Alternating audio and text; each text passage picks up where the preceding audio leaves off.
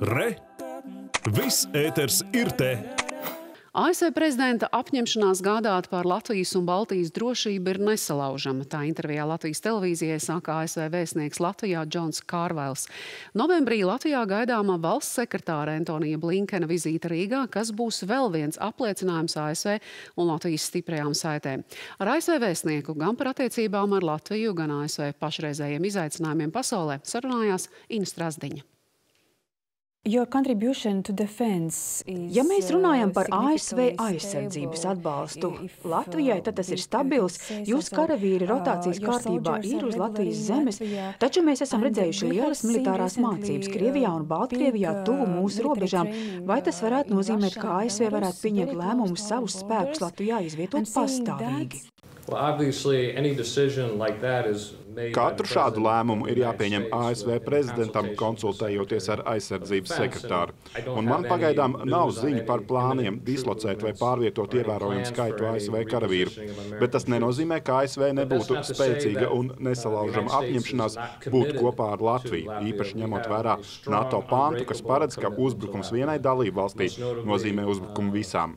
Prezidents Baidens ir ļoti skaidri pateicis, gan tad, kad bija senators, gan viceprezidents un tagad kā prezidents, ka viņa apņemšanās gādāt par Latvijas un Baltijas drošību ir nesalaužama. So also, uh... Mēs zinām, ka Rīgā drīz būs NATO ārlietu ministru sanāksme. Vai tajā varētu tikt pieņemt kādu lēmumu?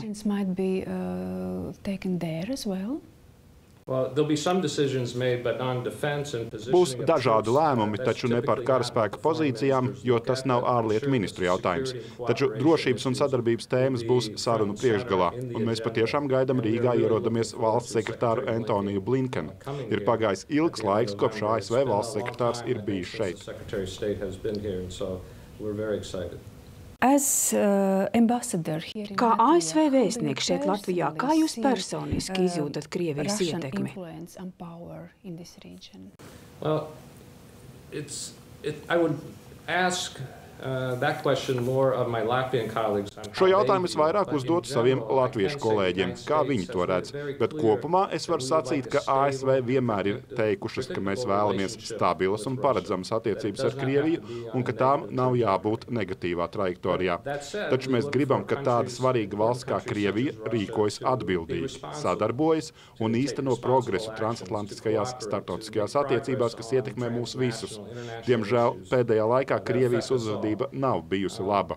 Man nav Baltijas cilvēkiem jāatgādina par Krievijas iebrukumu Krīmā, pirms tam Grūzijā. Viņi iejaucās manas valsts prezidenta vēlēšanās 2016. gadā, un mēs redzam dezinformācijas centienus, lai grautu transatlantisko aliansi. They interfered in my presidential or my country's presidential elections in the year 2016, and we continue to see efforts, you know,